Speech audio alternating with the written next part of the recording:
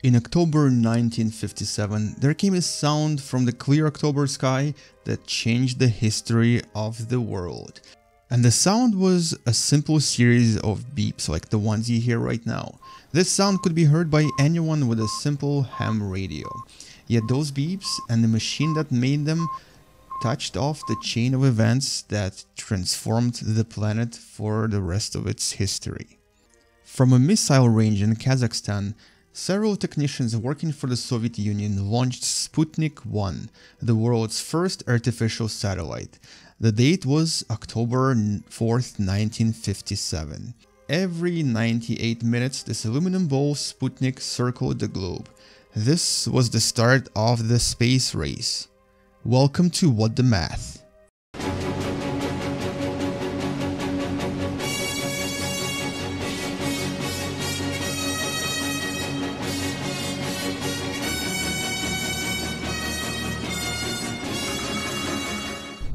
Hello YouTube and this is a new series of videos in What the Math based on the history of spaceflight. This is video number one and we're going to be talking about Sputnik, the Soviet satellite also known as Sputnik 1 because it's the first satellite ever.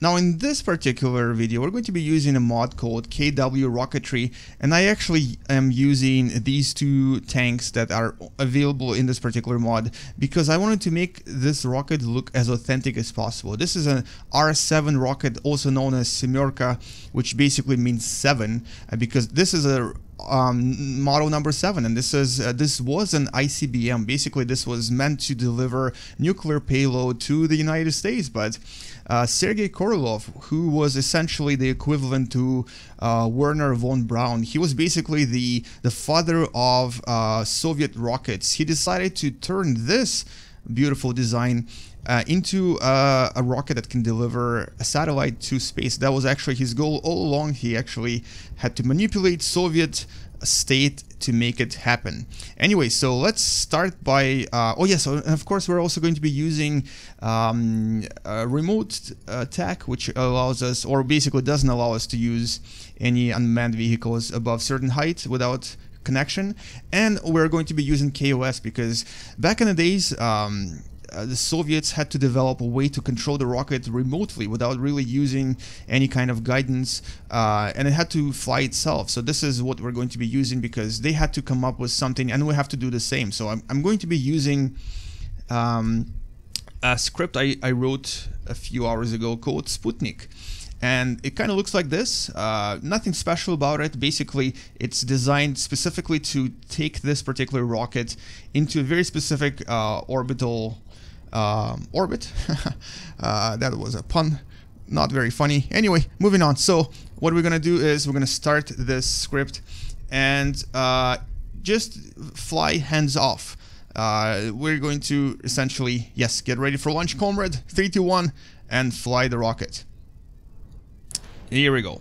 Beautiful takeoff. And uh, I'm just going to kind of uh, talk about the history of the space flight and also mention the specifically important details about this flight. So, like I mentioned, this was an ICBM, and it was actually the sixth attempt of launching this particular rocket because they were using these test rockets, which three of the three of which actually failed completely. So there was a 50-50 chance that this mission would not have succeeded.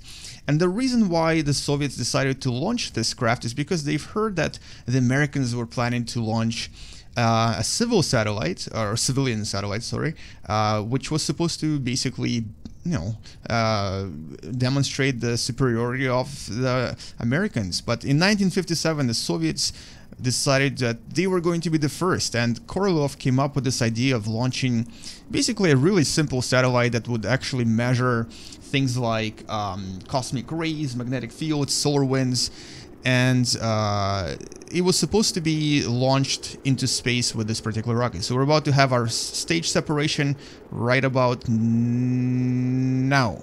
Yay, nothing got destroyed, perfect. And now we're going to be going into our um, apoapsis of about 74 kilometers.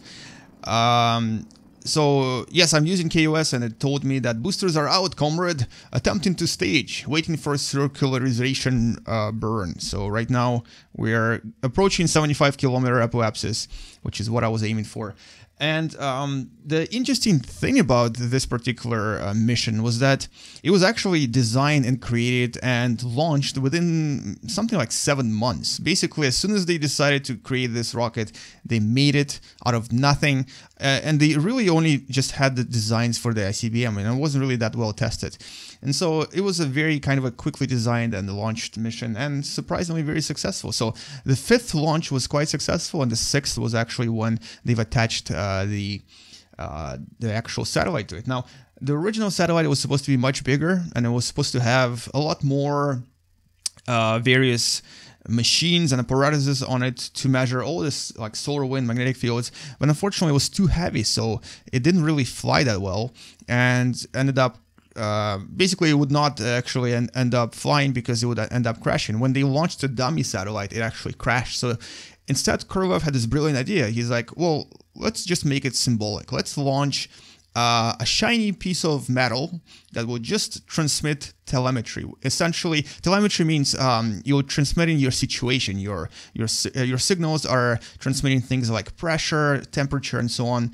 And that's exactly what they, they, decided to launch. They essentially just launched. Um, a signal transmitter that would only show uh, basically like sensor data. So uh, what you'll see when we open this uh, this part right here, when we actually open and deploy the satellite, you'll notice that it's essentially all it has is uh, telemetry data, um, and the beeps that you heard were basically the signals of telemetry. So how are you doing satellite? I'm fine, thank you. That's what it was saying. If it had a rupture in its uh, capsule or if the temperature started to decrease, the signals would actually change in velocity. So the beep, beep, beep was actually telemetry saying everything is normal, I'm fine, thank you, uh, have a good day. Now, we're going into our final burn right here, and all of this is, of course, uh, automatic through the script which um, is, like I mentioned before, is absolutely my favorite new script. Uh, K, um, the KOS is a must-have for this game because it teaches you programming, but it also teaches you how to do some amazing things like launch your spacecraft in unusual situations. All right, so we have released our Sputnik. Sputnik is now in orbit, Comrade. Take that, capitalist pigs. That's what it says in my program. Someone must have written it, probably me. Anyway, so Sputnik is now in orbit. Uh, we've released the antenna and it has now begun transmitting its telemetry. Uh, now here, I had to attach a battery right here, but the thing is I cannot really control this anymore because... Or can I control this? No, I can't. I don't think I can. Let me just try this. No, I can't because it doesn't really have any control um, modules on it. So now we're just going to run the time and let it run its battery dry. Now the actual battery lasted for 22 days or uh, over 20 days essentially and it was transmitting the signals for this entire time. And it only stayed in orbit for a few months because its orbit uh, if you look at it um, was oh, so this is not exactly accurate. I, I, just kind of made it more Kerbal-esque but the actual um, elliptical shape was about the same. So it had um, a periapsis of about 223 kilometers and apoapsis of about 960 kilometers, but the original apoapsis was supposed to be much higher. It was supposed to be about 1400 kilometers. It just didn't really calculate very accurately. Uh, but nevertheless, it was a very successful mission where even though it had such a elliptical orbit, they were able to kind of fly across the entire world. And this was actually why they decided to choose such an elliptical orbit. So it's actually not only elliptical, but it's also if you if you look at this, it's misaligned. It's it's a, about 65 degrees um, away from you know east-west. Uh, direction. So this was so that they, they could actually fly across the entire continent and it actually flew by the United States seven times per day. So the Americans could hear it seven times per day. And the first person to hear the signal using the um, uh, the amateur radio was actually an American from Long Island, from New York. Uh, he was able to not only record the signals, but he was able to then take it to the NBC, I believe, uh, or I think it was NBC, or I forget which which um, radio station it was, but they were able to play them to the entire world afterwards. Basically, the first person to announce Sputnik's transmission was not even the Soviets. It was actually the Americans who were able to hear it uh, using amateur radios. Now, this satellite transmitted on two frequencies. It was 20 megahertz and 40 megahertz, and uh, it made one orbit in about 96 minutes. So every 96 minutes, no matter where you were in the world, especially if you were on uh, on its path, you could hear the beeps, especially if you had the radio. But unfortunately, it only lasted about three weeks, and after about three months, the satellite descended into a lower atmosphere and crashed down. And the thing is, you could also see the satellite. Some people actually use binoculars to look into the sky and see it, but what they actually saw was not the satellite itself, but its lower stage. I don't know if I can find my lower stage now. And there's my lower stage right there. So what most people saw was actually this part. They couldn't really see the satellite itself, but people that claim to have seen it, they actually were looking at the actual ICBM that was still in the orbit as well and flying along with Sputnik. Now, what was inside this sphere? So this was actually really interesting because inside of the Sputnik sphere, you had another sphere, and then inside of that sphere, it was actually filled with nitrogen. Now, this was an interesting design. So the nitrogen served as a kind of a uh, meteorite detector, but not really. So what it was meant for was to see if a meteorite would strike the surface and would pierce it, and then if it did that, uh, the Sputnik would suddenly start losing nitrogen and it would start beeping faster. So it was kind of a detection system for basically a kind of a collision with meteorite or uh, a possible uh, decompression for some other reason. So basically, if something crashed into it, uh, the nitrogen would leak and inform uh, inform the ground control by making a satellite beep faster. After the Second World War, the United States and the Soviet Union were in Cold War, and the launch of this satellite didn't really make things better. Uh, so yes, the Cold War escalated, and the beginning of space race was essentially uh, glorified by this little sphere. But the thing is, at the same time, it kind of humbled the U.S. because until that point, the United States were convinced that they had the uh, uh, technological superiority. They had all the technology, and Soviet Union had nothing. But Soviets were able to launch this, and this proved the U.S. that not only were they behind the U.S. Uh, behind the Soviet Union in terms of uh, space race, but also it gave them um, a kind of a push to create all of these new organizations. So, of course, NASA was born right after, a few months after the launch of Sputnik. So, if it wasn't for Sputnik, we would never even have NASA. So this little sphere that contained nothing but a temperature and pressure gauge. It had a few batteries inside that lasted for 20 days, uh, 22 days, and the radio transmitter. All of this and the beep beep beep beep sound that was the reason why NASA was born, why space race has begun, and essentially this led to some of the greatest achievements that we have today, including being able to land on a comet or take awesome photographs of Pluto. All of this started on that day in October of 57. Now let's actually talk about the rocket itself as well. This design is based on the V2 rocket uh, that was used by the Nazi Germany in the Second World War to bombard uh, the United Kingdom. And uh, the rocket was uh, the V2 rocket was designed by Wernher von Braun, who then, uh, under the Operation Paperclip, was invited to work for uh, for the Americans, and he then became part of NASA as well until I believe 1977. And so he was not only responsible for the V2 rocket, he was then also responsible for the Saturn rocket, which was the biggest rocket produced by the Americans. And so I guess the question is how was the Soviet Union able to reconstruct this type of rocket knowing nothing about the V2? So what happened was uh, they did actually capture some scientists from Germany as well but they had another brilliant mind, uh, Sergei Korolev. And this guy, he was a genius. His whole passion was not to create weapons, not to destroy the world, but to essentially explore. He actually got arrested earlier on in the Soviet Union for uh, stealing funds for building, literally building rockets. He was stealing money from his job, um, and he wanted to explore. Uh, you know, he wanted to explore the air. He wanted to explore the universe. He wanted to explore space, and he did that by constructing homemade rockets and launching them into the atmosphere and trying to see what happens. And so he was the mastermind behind this beauty called R7, including all other Rs. He was actually in uh, in a spearhead of the Soviet rocketry program for a really long time until his death in uh, in the 60s. And he actually died because he essentially just overworked himself. He was so into rockets and he was so busy creating new rockets that he literally worked himself until his body couldn't take it anymore. And the thing is, uh, because of the Soviet policy, nobody even knew who invented this thing until after his death, because the Soviet Union was so scared that he's going to be assassinated by the American spies that they decided to keep his identity secret. So nobody knew that he was a hero, and he's he never really did this for fame or anything else. Uh, he only did this because he was really into rockets. So let's just launch this one more time and see how it goes.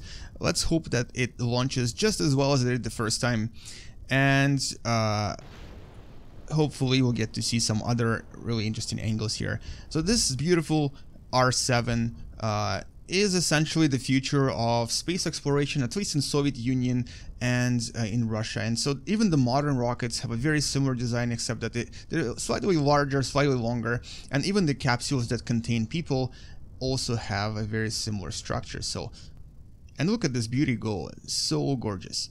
Uh, now, when the stage separates, uh, I'm gonna have explosions, but an actual rocket doesn't really do that. It just, I was too lazy to try to solve this problem, but uh, normally it separates quite nicely without destroying anything.